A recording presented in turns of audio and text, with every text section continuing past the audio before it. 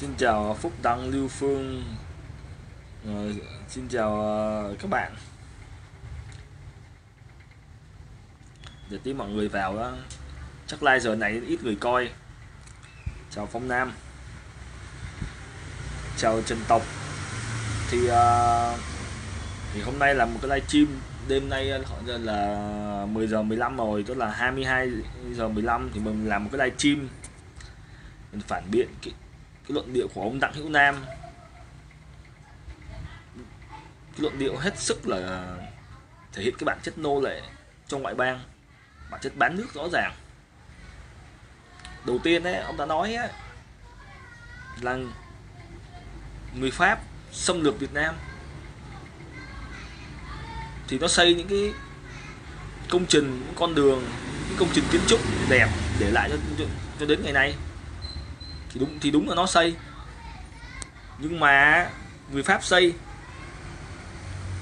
người Pháp xây những cái đấy bằng chính tài nguyên của đất nước Việt Nam và bằng xương máu của nhân dân Việt Nam. Dùng xương máu và tài nguyên của nhân dân Việt Nam để xây lên những cái công trình đấy.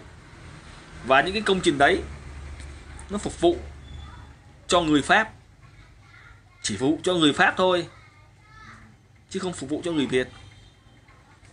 Nó xây trên ngay đất nước Việt ngay trên đất nước Việt Nam mình để phục vụ cho người Pháp.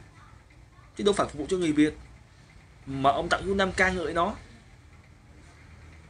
Ông nói là nó không lấy một tấc đất nào của Việt Nam. Nó đâu có lấy tấc đất nào đâu nó lấy cả nước Việt Nam luôn. Cả nước Việt Nam là, là thuộc địa của nó. Rồi nó lấy con người của Việt Nam mình phải làm đi cao su này đi làm nhiều cái cho nó lắm. Phải chết cho nó. Mà nhất là đi lính cho nó. Người Việt đi lính cho Pháp tham gia chiến tranh thế giới lần thứ nhất. Chiến tranh thế giới lần thứ nhất đấy. Để chiến đấu và chết cho quyền lợi, cho mục đích, cho lợi ích của nước Pháp. Là thế nào? Tại sao người Việt là phải chết cho mục đích và quyền lợi của nước Pháp trong chiến tranh thế giới lần thứ nhất? Tôi hỏi ông Đặng Hữu Nam như vậy và ông nói là phi Pháp xâm lược, không không ai vượt biên. Tất nhiên sao mà vượt biên được? Đất cha ông, đất của Việt Nam đất tổ. Cả đất nước Việt Nam bị giặc xâm lược, bị giặc đô hộ.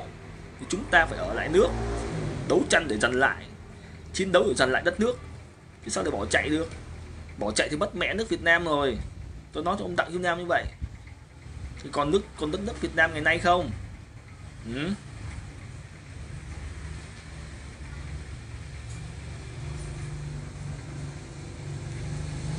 Nó nhông ông như đang như vậy. Rồi đến khi cái hiệp định Geneva năm 1954 ấy, nó ký. Miền Bắc miền Bắc á là thực quyền quản lý của Việt Nam Dân Chủ Cộng Hòa. Nhưng còn miền Nam là do Pháp quản lý. Ô hay miền Nam Việt Nam tại sao lại để cho Pháp quản lý là sao? Cái điều khoản trong một điều khoản hiệp, hiệp định Geneva đất của Việt Nam mà thuộc quyền quản lý của nước Pháp là thế nào? Hả ông Đặng Hữu Nam? Nó nó không cướp đất của Việt Nam là gì vậy? Ừ, không lấy đất là gì? Đất của Việt Nam phải cho người Việt Nam quản lý. Tại sao để Pháp nó quản lý? Ừ. là thế nào? Tôi nói ông Đặng Hữu Nam như vậy luôn. Còn tiếp đến ấy, ông nói người Nhật xâm lược Việt Nam nó xây những công trình. Ông nói yệt như Pháp nó làm tôi thấy người Nhật đã không xây xây dựng được một bất cứ một công trình gì một cái đường xá gì ở Việt Nam hết. Mà mà họ để lại ấy phát xít Nhật để lại. Hậu quả rất nặng nề. Hơn 2 triệu người chết đói.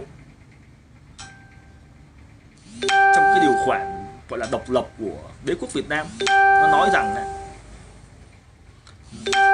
mọi tài nguyên khoáng sản con người của đế quốc Việt Nam đều thuộc quyền quản lý của đế quốc Nhật Bản. Ô hay tài nguyên này con người sinh mạng của người Việt Nam tại sao lại, lại thuộc quyền quản lý của đế quốc Nhật Bản là sao? Hả ông Đặng Như Nam? Cô lý không tự nhiên ờ, sinh mạng của người Việt Nam mình tài nguyên của đất nước Việt Nam mình thuộc quyền quản lý của đế quốc Nhật Bản là thế nào? Vậy có phải Nhật Bản nó cướp đất nó cướp Việt, đất Việt Nam không? Xâm chiếm Việt Nam không? Đặng Việt Nam. Rồi á ông nói là Nhật xâm lược không ai không ai chi, ờ, chạy trốn vượt biên. Đơn giản. Nước nhà bị xâm lược thì phải đứng lên đấu tranh để giành lại đất độc lập cho dân tộc. Làm sao bỏ chạy được? Bỏ chạy mất nước Việt Nam từ lâu rồi. Rồi rồi tiếp đến ông nói ấy, là Mỹ ông ông cũng ghi lại y hệt những lời ở trên ông ghi. Mà tôi nói thật đối với đối với Mỹ nó tạo dựng ra chế độ Việt Nam Cộng Hòa để mục đích là cắn thuê cho nó. Cắn thuê cho Mỹ không có độc lập gì hết. Mỹ nó trả tiền mà nó trả từng đồng một cho từng người lính một cho từng quan chức chính phủ Việt Nam Cộng Hòa để đánh thuê cho nó để mang sinh mạng của người Việt Nam chết cho quyền lợi của nước Mỹ. Nó không chiếm đất của Việt Nam nó lấy tính mạng của người Việt Nam sức trẻ của thanh niên. Nó bắt phải chết cho quyền lợi của nước Mỹ. Tôi nói cho đông đặng Hữu Nam như vậy. Nó lấy sinh mạng của người Việt Nam mình phục vụ cho lợi ích của, của nó cái, cái, cái đó ấy, gọi là thực dân kiểu mới ấy. hiểu chưa ông đặng Hữu Nam? Rồi tiếp đến ấy, ông nói ấy, là ba thằng ấy nó xâm lược không không ai không ai vượt biên. Nhưng khi ờ, sau ngày 30 tháng 4 năm 1975 là vượt biên hàng loạt. Ông không biết biết bởi vì ngay sau năm 75 tức là vào năm 1976 thôi Pol Pot đã tấn công Việt Nam sát hại thường dân Việt Nam. Sát hại suốt tới năm 1979 luôn.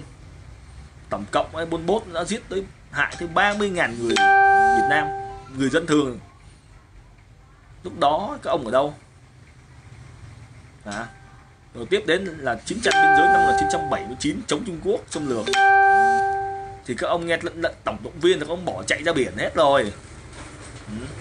vượt biên bỏ chạy một cái lận tổng động viên vượt biên bỏ chạy. Thì gọi là cái, cái giống gì? Ba que là cái giống gì? Vượt biên bỏ chạy. Ừ. chúng tôi phải ở lại. Những người cờ đỏ yêu nước gọi người hay người cộng sản phải ở lại. Chiến đấu chống quân bốt chống tàu xâm lược trong khi đó những người mà gọi là cờ ba que như ông nói vượt biên bỏ chạy hết. Trốn lận tổng động viên. Khi thấy đất nước khó khăn đất nước nguy ngập là bỏ chạy thì ông nói tư cách nếu nếu lúc đó chúng tôi vượt biên ấy, bao nhiêu người vượt biên ấy, người đỏ vượt biên ấy, cả đất nước Việt Nam vượt biên ấy, thì đất nước này đã bị tàu và buôn bốt chiếm mất rồi. Hiểu chưa ông Đặng Nam. Cái luận điệu của ông là thể hiện cái bản chất nô lệ rõ ràng. Chỉ muốn làm nô lệ ngoại bang thôi. Nó sai gì cũng nghe. Miễn sao được xứng xác được rồi. Bán hết cả đất nước cả dân tộc để dâng hiến cho ngoại bang lý luận của ông đặng hữu nam như vậy.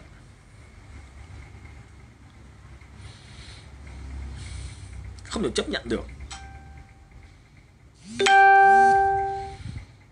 Đúng với bạn tư bảo cái thác bản dốc là hiệp ước pháp thanh nó chia ra. Và cái ải nam quan cũng là do pháp thanh nó chia nhau. Tức là pháp tức là trung quốc và người pháp nó chia nhau ải nam quan nó chia nhau cái thác bản dốc. Trong cái, cái bản hiệp ước nó ghi như vậy chứ ờ, cộng sản người ta không có bạn, chứ cộng sản đã không liên quan gì đến chuyện này cộng sản nó chỉ có chống tàu thôi, chống mỹ, chống nhật, chống pháp để bảo vệ độc lập cho đất nước này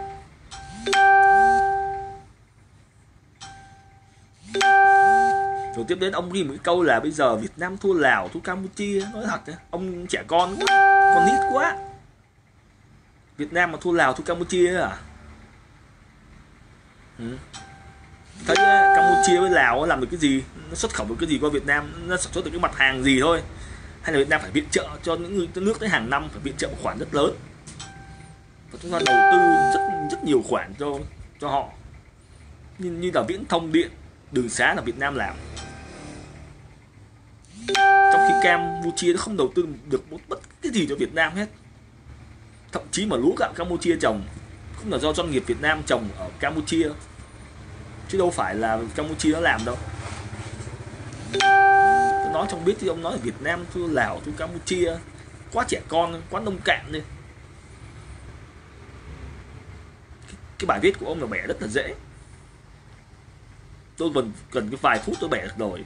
Cái bản chất của ông là nô lệ rõ ràng. Viết một cái bài mà tôi đọc cái comment ấy, có rất, rất nhiều cái thằng bác que nó comment trong đấy nó khen ngợi khen ngợi mà. Nó để nó nối tiếp với cái thời. Nó làm tay sai cho Nhật cho Pháp cho Mỹ. Nối tiếp cái thời như vậy. Nó ca ngợi ông cái bài viết như vậy. Của những người yêu nước ấy người ta coi bài viết của ông là một một, một bài viết của một tên phản động. Thậm chí ông là một tên phản phúc nữa. vì ấy, ông viết một cái bài tôn thờ lúc ba người chủ ba thằng chủ. Người ta nói nhé tôi tớ không thờ hai chủ. Kiểu nó ghét chủ này và kính chủ kia, nhưng ông thờ lúc ba thằng chủ là nhật, pháp, mỹ. Rõ ràng cái bản chất gọi là phản tắc. Phản tắc mới thờ ba chủ. Phản nhật thua, phản nhật theo pháp. Pháp thua, phản pháp theo mỹ. Vậy có phải là phản tặc không hả? Ông đặng hữu nam. Một cái chế độ ba que, cờ ba que đều đều phản tặc mà ông đi ông ca ngợi chế độ đấy. Ông nuối tiếc cái ba hàng chủ đấy mà trong khi tụi nó coi ông như một thằng phản tặc. Ta nói thờ một thằng thôi thờ ba thằng là, nó coi như là phản rồi. Đó ông, ông bắt cả nước Việt Nam phải theo cái gương của ông mà. Theo gương của thằng ba que đi phản phản phản phúc vậy à. Vừa ván nước vừa phản tặc. Trong mắt trong mắt người Việt Nam chế độ có cờ ba que là đế quốc Việt Nam. Quốc gia Việt Nam và Việt Nam Cộng Hòa là ba, là hai, là ba chế độ đánh thuê là một này, bán nước là hai này, theo giặc là ba này. Cho trong mắt những người bọn Pháp, bọn Nhật, người người Pháp, người Nhật, người Mỹ, ông là phản phản tặc, phản phúc. Chứ đâu có tốt lành cái gì đâu.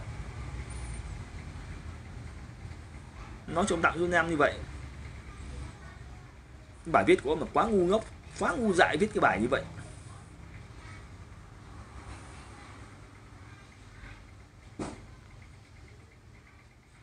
Hôm nay tôi lên tôi bản biện cái bài viết của ông thôi. Rất dễ dàng. Quá dễ. Thì tôi nói những người nào có tư tưởng như vậy ấy, thì hãy bỏ đi đừng đừng suy nghĩ như vậy hãy bỏ cái, cái suy nghĩ như vậy đi. Mà những người nào mà mà nuối tiếc những cái thời như vậy ấy, hãy nhìn lại xem cái thời đấy dân tộc chúng ta nhục nhã thế nào. Chỉ có thời bây giờ thời nay sau độc sau khi chúng ta có độc lập tự do chúng ta mới có hạnh phúc mới phát triển ở đất nước. Chứ làm nô lệ trong ngoại bang thì không thể phát triển được. Đi đánh thuê cũng không thể phát triển đất nước được nói cho ông William Nam biết như vậy. Bài viết thể hiện một cái quan điểm của ông là quá ngu dại.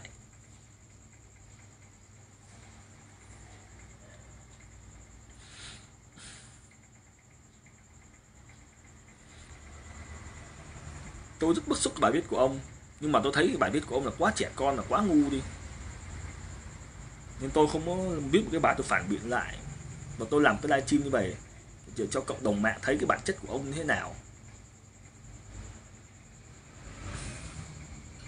Bài viết của ông thể hiện là quá sai lầm về ông Đặng Hữu Nam.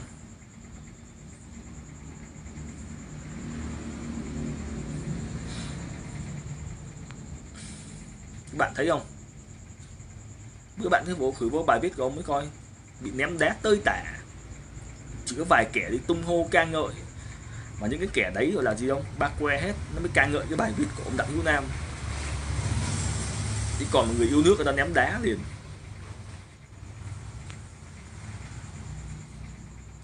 Đấy là những cái lời tôi gửi cho ông đến ông đặng hữu nam và những cái, cái kẻ tung hô ông ta biết như vậy.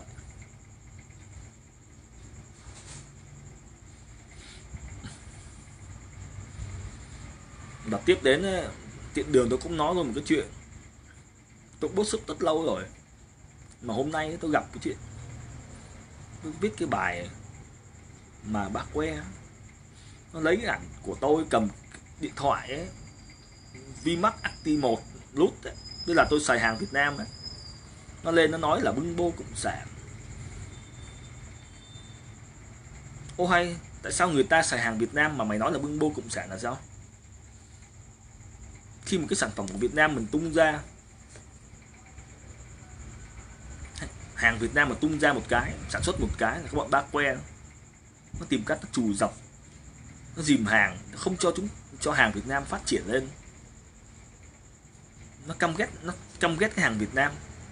Và những cái người nào mà xài hàng Việt Nam như cái thời mà xài Bphone này, xài Vimax này, hay mua xe của VinFast này, của Pega hay của Thaco hay là mua những cái gì của Việt Nam sản xuất ra, nói chung là của Việt Nam làm ra thì nó coi cái người đấy là kẻ thù của chúng nó. Tức là nó nó nói là bây giờ xài hàng Việt Nam là bưng bô cho cộng sản. Rồi nhà nước trả bao nhiêu tiền để mua điện thoại, mua xe. Một cái luận, lý luận rất là ngu của bác quê tại sao người ta xài hàng Việt Nam mà nhà nước phải trả tiền cho người ta để người ta mua hàng Việt Nam? Họ hỏi mấy bác quen như vậy thôi.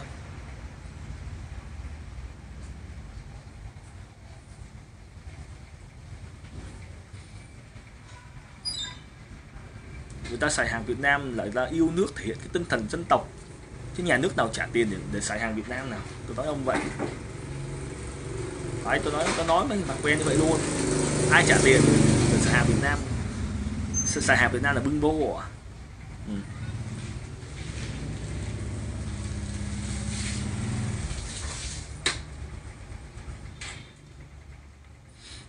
đấy tôi chỉ nói vậy thôi nghĩa là chúng ta xài hàng của Việt Nam nhưng mà tôi đang xài điện thoại tôi livestream mà cái điện thoại này là xài hàng của Việt Nam này. Hàng của Vimax là tôi tự hào. Tôi xài hàng của, của Việt Nam sản xuất là tôi tự hào thôi đúng không? Nhưng mà có thể bảo là bưng bô cộng sản nhà nước à, cộng sản trả bao nhiêu tiền để mua cái điện thoại này?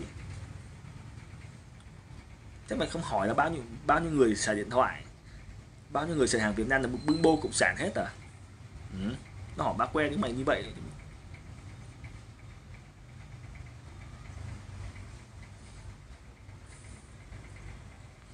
Và từ đó tôi suy nghĩ rất nhiều vấn đề. Nó thù ghét tất cả những doanh nghiệp sản xuất giúp kinh tế Việt Nam phát triển. Là tôi nó thù ghét doanh nghiệp. Rồi những, những cái người mà doanh nghiệp mà đầu tư ở nước ngoài chuyện là qua Mỹ đi tôi cũng ghét. Nó đầu tư qua Mỹ giúp đất nước phát triển để quảng bá thương hiệu hàng Việt Nam qua nước, qua thế giới mà tụi nó ghét công nghiệp đấy. Tìm cách chống phá tẩy chay hàng Việt Nam ở nước hải, ở nước ngoài. Mà thậm chí những cái kiều bào mà về du lịch thôi, đầu tư phát triển đất nước, nó cũng coi là, gọi gọi là tiếp tay cho cộng sản. Thấy bọn nó không thể tưởng tượng được cái bọn bác que đúng không? Chúng mày là cái đống gì nữa?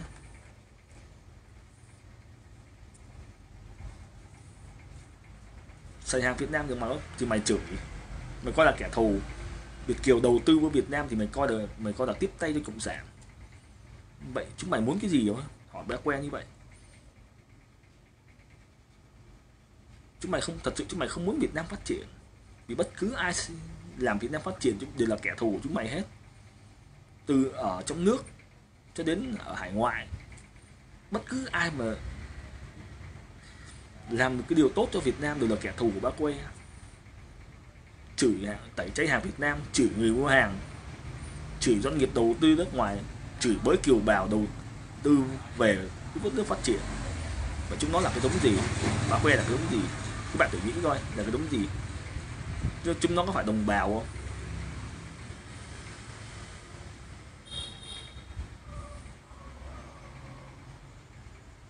Với các bạn thử cứ lên mạng bạn thử xài điện phone hay Vimax hay điện thoại hay ờ, xe bộ up lên một cái cái, cái diễn đàn nào cái, cái trang nào mà có ba que thôi. Nó vô nó chửi bới các bạn liền. Mày nó nó có các bạn là là là, là, là được, được ờ, nhồi sọ thế này thế kia nên nó mới xài mấy cái đồ đấy. Thật sự cái lý luận ba que chúng mày là cùn quá rồi ta xài hàng Việt Nam là vì giúp đất nước phát triển là vì tự hào dân tộc. Khi xài một cái hàng Việt Nam nhất là ở nước ngoài ấy, thấy cái người nước ngoài xài hàng Việt Nam thì, thì hãy thì hãy tự hào rằng người nước ngoài xài hàng của chính Việt Nam mình sản xuất là mình phải tự hào. Chứ tại sao ta phải tức chửi bới người ta? Ừ? và chúng mày là giống gì? Vì tôi thấy những cái kẻ thù của nước Việt Nam này chưa đứa nào làm vậy hết mà chúng mày gọi là đồng bào. Gọi là chính nghĩa quốc gia, chúng mày như vậy. Là thế nào? Ừ? không thể tưởng tượng được cái bọn chúng mày thế nào được.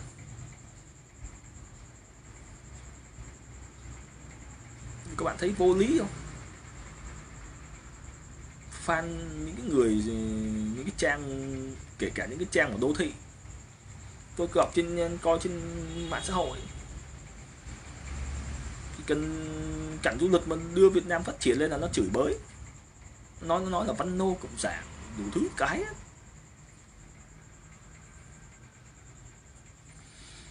vì vậy ấy, trong thông tâm tôi ấy, thì mấy thằng bác que là giặc và kẻ thù của chúng ta vì những cái hành động của chúng nó từ trong quá khứ cho đến hiện tại và, và tiếp đến tương lai gần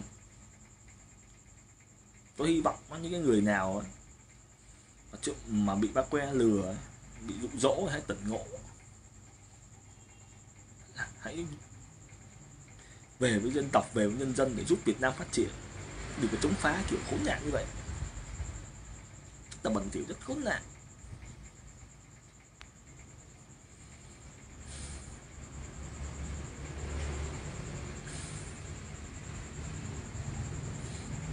Đồng bào chỉ có đồng bào thì à, đồng bào của nó là đồng bào phải có cầm cái cờ bác que mới, mới là đồng bào của nó. Mà khi mà chúng ta là xài hàng Việt Nam chúng ta, chúng ta cầm hàng Việt Nam chúng ta đưa lên mạng xã hội tự hào là chúng ta là kẻ thù của bác que rồi. Đấy bạn à, đặng triệu vĩnh khang. Đấy, nó nói tôi xài điện thoại là tôi là kẻ thù của chúng nó nên, nên mới xài điện thoại Việt Nam sản xuất. Thấy nó vô lý không? Thấy nó cái bản chất nó khốn nạn của bác que không? Nó nói là nhà nước cho tiền để mua đấy. Tức là cái người nào mà xài hàng Việt Nam từ chiếc điện thoại này cho đến chiếc xe này đều là nhà nước cho tiền mua hết. Đều, đều là bưng bôi cộng sản hết. Nó nói như vậy đấy.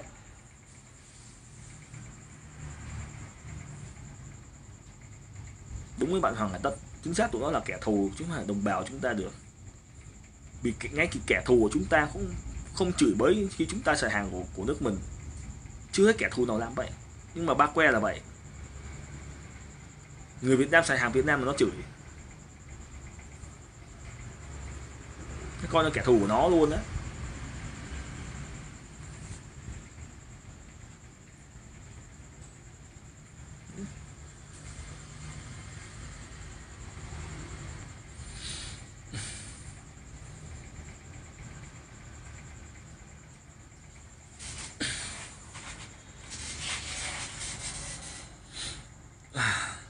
vì vậy ấy, tôi làm cái livestream này ấy, chủ yếu về nói một vài vấn đề bức xúc.